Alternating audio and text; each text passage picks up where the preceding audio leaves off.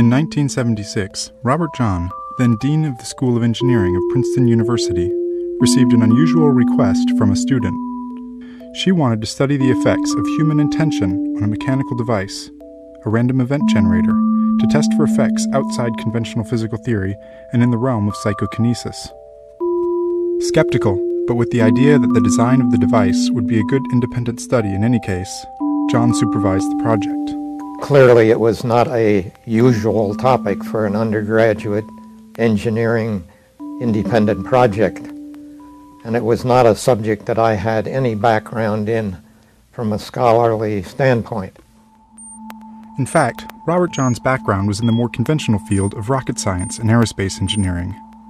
Plasma propulsion systems like this one were Jahn's forte, and he contributed to a generation of propulsion systems being used on spacecraft today. So, actually, what I did was gave her the challenge of convincing me over the course of a couple of months of summer effort that there was enough substance to the topic to make it uh, viable for an undergraduate independent project.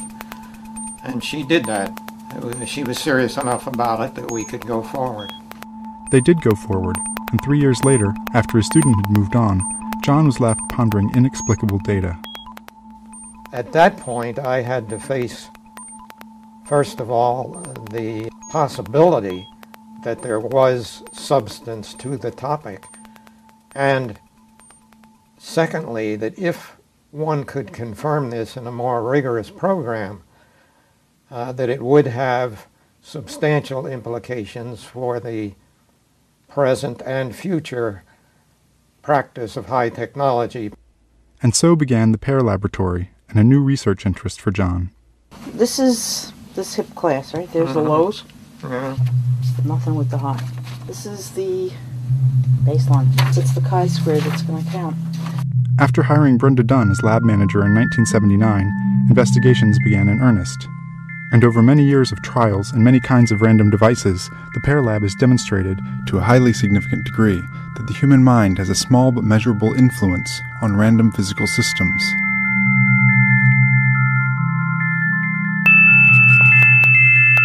A lot of what we've learned about the phenomena tends to be what it's not.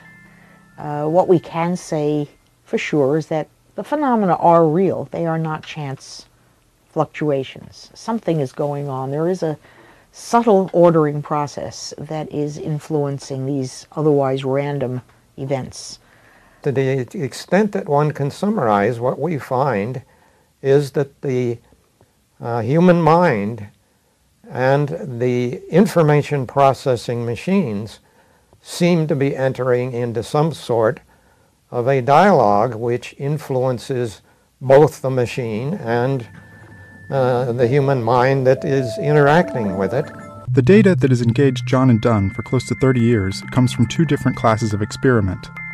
The first class is based on a similar idea to that of the original student project. This random event generator is essentially an electronic coin flipper. According to statistics, if you flip a coin 10 times, you would expect to get 5 heads. If you got 6 heads, you wouldn't think much of it. But if you flip the coin 10 million times, and got 6 million heads, you would know that some process was having an influence on the outcome. This machine does 200 flips per second. When left unattended, it performs in a statistically normal way, and over time, it approximates a chance mean of 100. But when an operator is present, wishing for the output to be higher or lower, the output deviates very slightly from the chance expectation. The effect shown on these devices is small, only a few flips in 10,000 are influenced by the operator. But those few are more than contemporary physics can explain. And the effect is not limited to these electronic devices. The PEAR Lab has explored many sources of random event generation.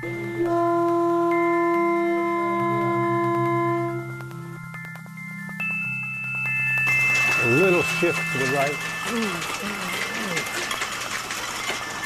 So all of our devices share the features, that they are based on some form of random physical process as their source. They are capable of calibration, and in most cases, they're capable of a theoretical expectation. York Dobyns, a theoretical physicist who joined the staff in 1987, has done much of the statistical analysis and has considerable interaction with the critics of Pear's work. They pick out things like do operators cheat? Do operators have a chance to meddle with the data? Do our statistics really mean what we think they mean? Um, uh, what are the possible physical confounds, such as ordinary electricity, and magnetism, and what have you? Um, of course, we've had years to refine the experiments and think about possible loopholes that we can then plug. With the REGs, for example, they are shielded against most of the uh, sorts of, of interference that you can think of. The process of mechanical design at Pear involves extensive calibration and testing to search out and eliminate artifacts in the data that correlate with known physical processes. These designs were abandoned because they could not be sufficiently insulated to produce truly random data. Temperature and pressure created artifacts in this Crookes tube design, this dual thermistor design, and another using photoelastic stress. The first fountain design showed acoustic artifacts. Another machine responded too sensitively to vibrations in the building. The machines that do survive Pear's testing and go on to be used in experimental work are known to be completely free of interference from known physical processes and produce random data that fit chance expectations. Uh, we calibrate our experiments extensively under um, actual working conditions and find that in, in the calibrations they produce data that are uh, consistent with the null hypothesis. Um, and finally, for most of our experiments, we use a tripolar protocol in which the only difference is um, some aspect of, of the human being's mental state. Basically, any um, physical confound that uh, you can come up with has to be uh, not only able to um, get through all of the shielding and equipment design and for some reason not be present while the machine is calibrating, but it needs to be smart enough to track what the operator is doing subjectively. Through the years of refining experiments and statistical processes, this unexplained phenomenon remains. The resistance by mainstream science has also continued, and has created many difficulties, not the least of which is the dissemination of their work. Well, how do you go through the scientific process of peer review and et cetera, et cetera, if you can't have peers, if you're not allowed to present the data and you're not allowed to deal with it critically on a rational scientific level. So you end up getting irresponsible criticism. You end up getting um, uh, unreasonable rejection, not on the basis of the quality of the work, but on the topical matter. Uh, in my view, that's not science.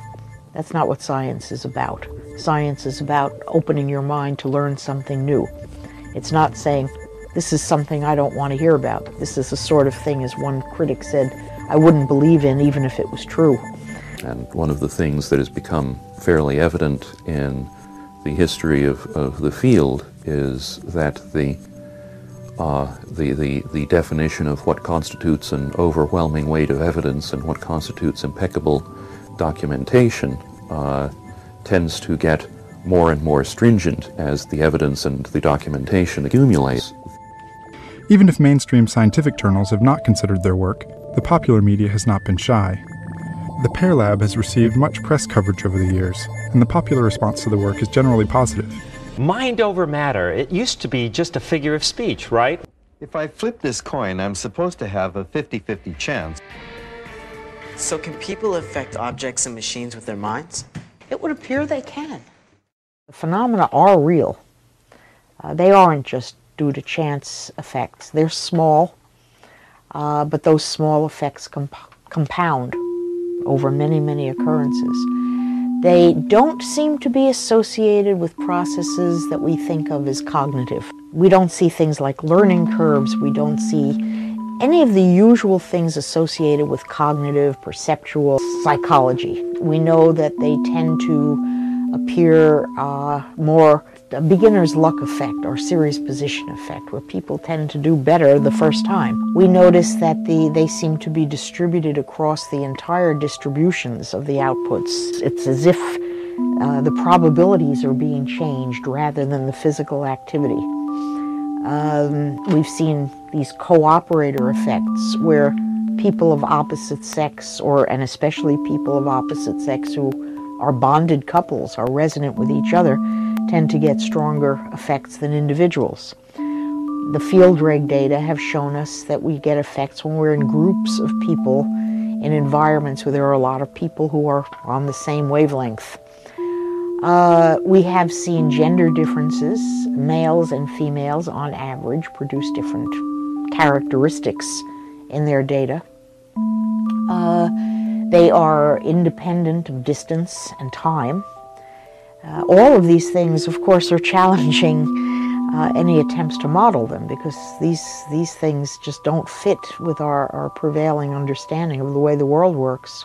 Compounding the results across all of our experiments, all of the time we've been operating, you then come out saying that the results you find in this composite database are unlikely by chance to better than one part in 10 to the 12th. That's one part in a trillion.